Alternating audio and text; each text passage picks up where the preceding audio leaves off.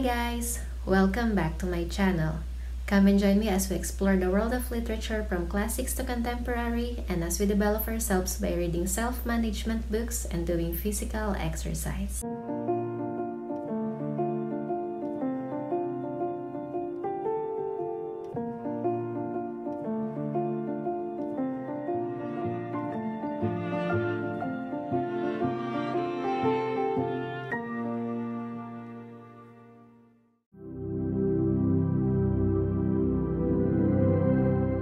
God it's Friday, but I've got no work, so that's for you. I hope you're having a great Friday. I've decided that I'm gonna read Jane Eyre by Charlotte Bronte because it's classic and everybody knows about it, but not me. So, better to read it first before the contemporaries. Before we dive into the novel, I would like to inform you that I got a free copy of the ebook in the Project Gutenberg website. They offer thousands of free classical ebooks, so obviously I'm gonna use my Kindle Paperwhite. Jane Eyre by Charlotte Bronte was published in 1847. It dealt about the feeling of a woman in that period of time, and it also talked about the struggles and desires of a woman amid social conditions. The novel started with a 10 year old Jane living with her uncle's family. They sent her to charity school, which was the Lowood Institution, and she experienced a lot of hardships in that school. And then, when she's a grown woman, she worked as a governess, and then she met Edward. Hmm, we know that it will get romantic here, but we also know that when there's love, things get complicated. But yeah, I think this novel will be one of a roller coaster ride. There will be happiness and excitement, and then sadness, crying, wailing. But I picked up this book because I thought it would be like Wuthering Heights by Emily Bronte. It was.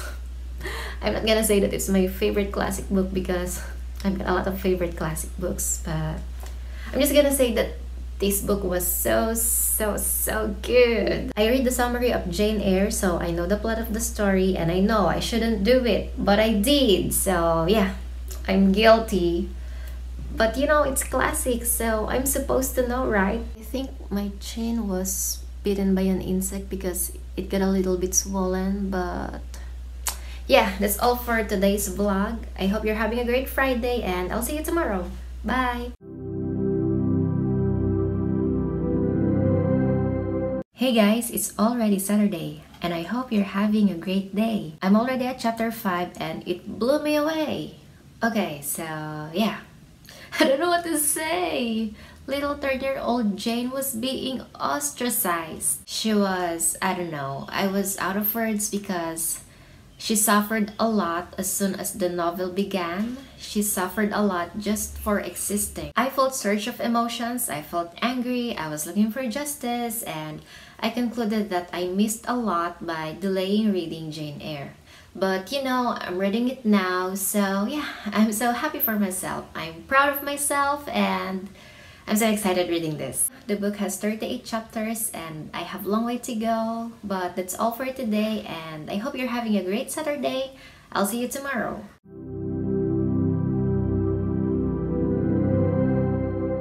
Great Sunday everyone. I hope you're having a quiet and peaceful Sunday.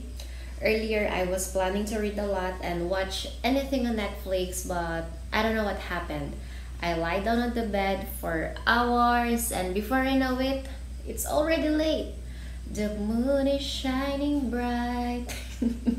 I just read one chapter which is of course chapter 6 but I'm planning to continue more of course with the power of Doritos and Cheetos. Yay! I'm already at the part where Jane was at the Lowood Institution and the dogs are so noisy, but I don't know. Please just bear with me. Um, yeah, where am I at?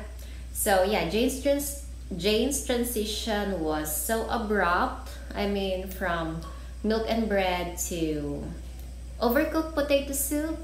Does that make sense? I mean from riches to rags. So yeah, I'm gonna keep on reading as far as I could go.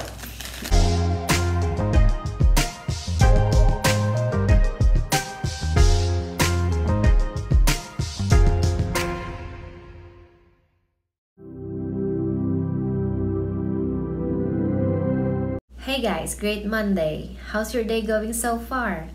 I want to be productive today by reading a lot. So I woke up a little late today. I ate my breakfast and I drank my tea. I chose chamomile tea because I was feeling a little anxious today. So yeah, I needed that to soothe my nerves. I read a chapter or two and then I cooked lunch and then after that I resumed back to reading and then here I find myself filming. Much as I want to continue on reading, I cannot afford to miss on telling you about the extremities of Jane's life. She had a nice friend. In fact, that was her only friend. They had fun memories together. They get used to with each other, but her friend died with an illness. That was so tragic. I keep on getting amazed by the darkness of the novel. I mean, could it get any darker? I'm so excited to find out. From then on, Jane skipped 8 years of her life. She was already 18 years old when she continued her narrative. I was planning to give you more details, but I decided to keep my mouth shut because of too much spoilers. But before that, since I read the summary, I know the plot, I know this how the story would go. But you know, there's no other better feeling when I'm fully immersed in the novel. Yeah. That being said, I'm gonna keep on reading. Hey guys, 3 hours has passed. I'm already at chapter 15 and yada yada yada. Jane Eyre and Edward met she was working as a governess where Edward was the master of the house. I think I get a little bit excited only to be disappointed because I thought it was a love of fir- it was a love at first sight with all of its craziness, but it was not. Which was actually okay because Edward was the master of the house and Jane Eyre was not so good in appearance, but I think I expected a little too much. Edward was getting in my nerves because he was so bossy. But he's the boss. Because he was so snob. Typical character of a boss. He was not handsome. He was not masculine. Well, that was according to the point view of Jane Eyre, not me. But yeah, that's all for today's vlog. I hope you guys are having a great Monday and I'll see you tomorrow. Hey guys, happy Tuesday. I hope you're having a great Tuesday.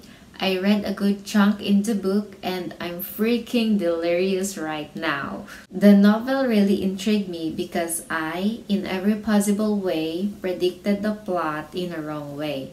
I mean, we all know that they fell in love with each other, but who fell in love first? Or was it an unrequited love? I don't know. A lot has happened in the story. Shall I say it? Will I say it? Um, okay, let me put it this way. Jane went back to her uncle's family for a, pur pur for a purpose, excuse me, and then she went back to her master's house, Edward's house. The novel was of no doubt creepy. There were vivid descriptions of something eerie, there were ghosts, and then later on vampires, draining of blood. But yeah, Jane was depressed not because uh, she's scared but because of the inevitable marriage of her master and a noble lady. They were finally saying farewell to each other but then Jane broke down. She could not contain her feelings anymore. She cried. And then you guys guess what happened?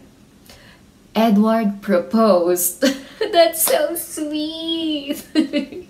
and yeah, I get a little bit excited but you know it's always better in fiction.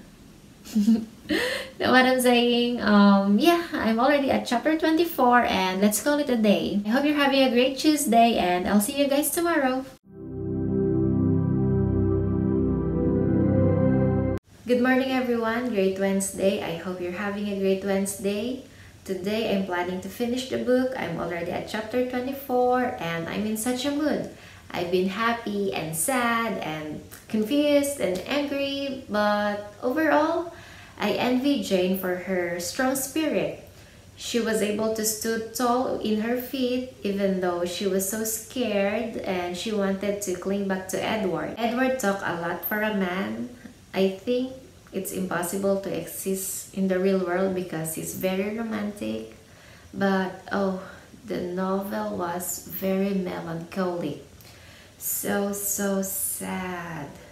I could not tell you why, but Jane left Edward and they were both devastated. Typical emotion of a heartbreak, right? Yeah, but you know, it's hard to figure out the right thing to do when you're in that situation. But yeah, I have a long way to go. I don't know if I can finish the book today, but we'll see. I'll update you later. Hey guys, so just a little update. It's already 5.30 p.m. and I'm already at chapter 33. And I really want to finish the book. I don't know if I can, not unless I spend the evening also in reading. So yeah, I feel like I'm back in the university once again, which is so cool if I'm being honest. But yeah, I think I'm doing it. I'm reading and it feels like a 24-hour reading vlog. Jane left Edward without money. That's brave, Jane. That's brave. But yeah, she was not spared of hardships. In fact, she almost died. But I'm not going to give you any particular details, so fast forward a little bit. She was now working as a village teacher and she got new associations. I'm already at chapter 33, still strong, maintaining momentum, keeping up the pace. I'll see you later. I just have two more chapters left and I'm done. I will definitely finish it tonight. So yeah, I'll see you later for the last update. It's 10 o'clock p.m. and I'm done. What a day spent in reading. Okay, to cut it short, the novel was a happy ending story. I don't like happy ending stories, but for what it's worth, I give it full 5 stars. And I definitely recommend it. I'm closing this vlog. Jane Eyre was a sad and gothic novel which ended in happiness. Thank you so much for watching. I hope you enjoyed this video. Please subscribe to my channel if you haven't already. Hit the bell so you can see every time I upload a video. Don't forget to comment down below what are your suggestions, what books are you reading, or are we reading the same book? Either way, please let me know as I would love to hear from you. I will see you on my next vlog. Bye!